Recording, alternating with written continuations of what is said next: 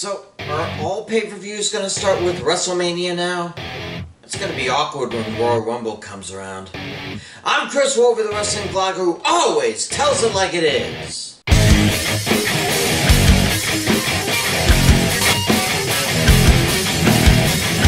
Things are starting to open up here in Florida, for good or for ill. I'm sure talk about having live crowds in the Thunderdome are already starting. I, for one, would want the WWE to wait until more people are vaccinated in the state before doing that.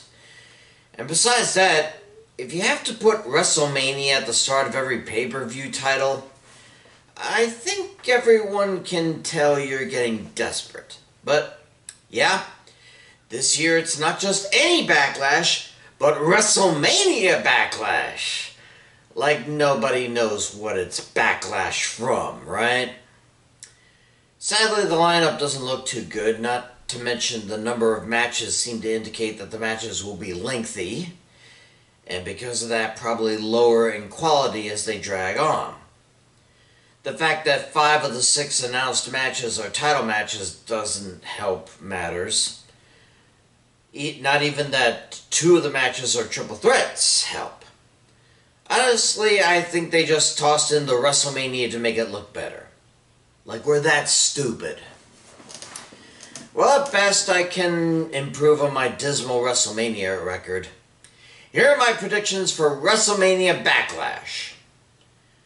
The only non title match this time is the Lumberjack match between Damian Priest and The Miz. You know, I think the Lumberjacks themselves would be more interesting. Can you imagine if Riddle talks Randy Orton into wearing a large plaid shirt, because I can sure see Riddle doing that. But seriously, what is it with getting Miz and Lumberjack matches these days? He had to do it to let Bobby Lashley gain the WWE title, and now it's just to get a beating from the Green Arrow wannabe? You do know Miz has a wife and kids to feed, right? He can't do that from a hospital bed. Oh, I'm sure there are some Miz supporters uh, out there in the group, least of which being John Morrison. But I think this might be where Miz and Morrison break up. Winner is da- Damian Priest, and we can finally put this feud out of its misery and out of our misery. SmackDown Tag Team Champions Dirty Dogs, Dolph Ziggler and Robert Roode defend against Rey and Dominic Mysterio.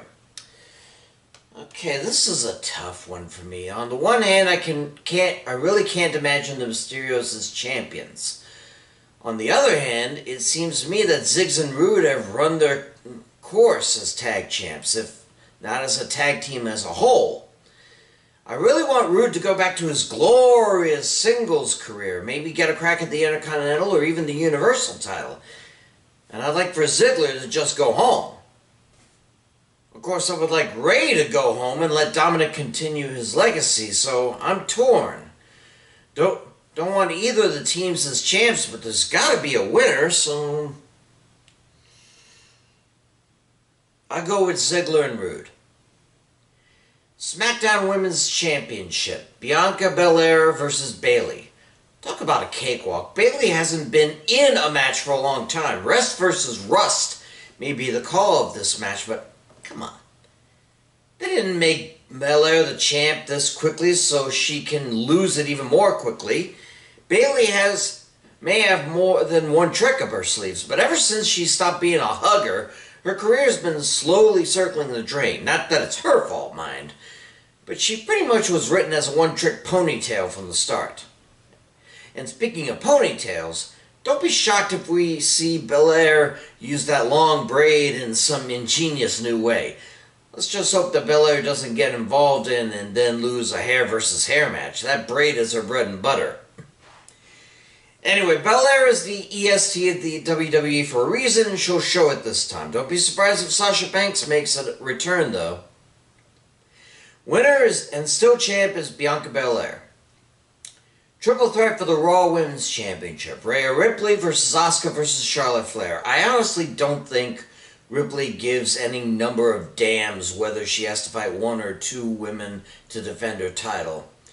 She thinks she's strong enough and tough enough to handle it. After all, She was able to end the long reign of Asuka as champ at WrestleMania, although, given Asuka's record, everyone beats Asuka at WrestleMania. And Asuka likewise doesn't care who she has to go through to win back the title, but Flair is not alone. She seems to have assistant official Sonya Deville in her back pocket, and I'm sure if things don't go Flair's way in the match, Deville's gonna be out there and to restart the match somehow. Hmm. A prominent figure wanting to change the result of a fair match just because they didn't win? I would come up with something st mm, stupid like that. Anyway, Ripley is tough enough to get through both of them. She'll make sure Flair is a non-factor before putting Asuka away.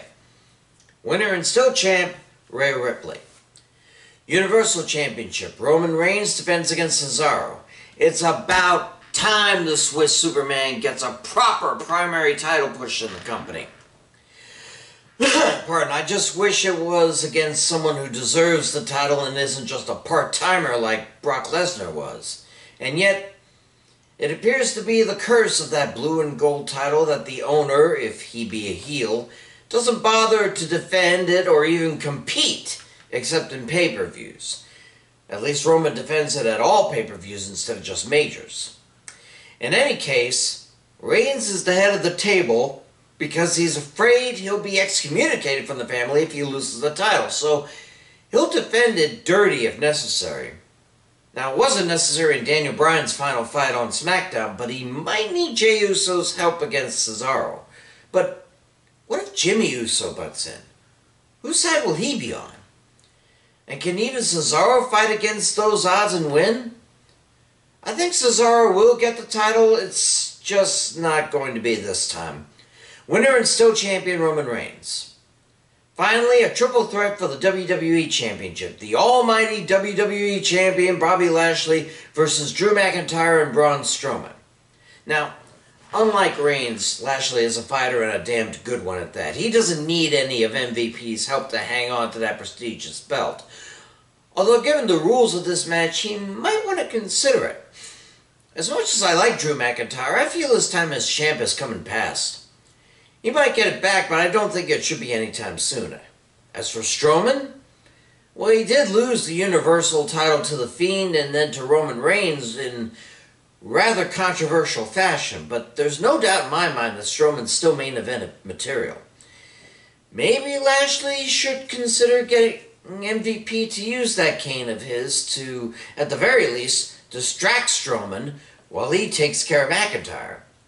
After all, Triple threat does mean no DQ. Winner and still almighty WWE Champion, Bobby Lashley. Those are my picks. Next picks will be for what I can only assume will be called NXT TakeOver Stand and Deliver in Your House and WrestleMania Money in the Bank. I'm Chris Wolvie the Wrestling Blog who always tells it like it is. Stay safe, and I'll see you.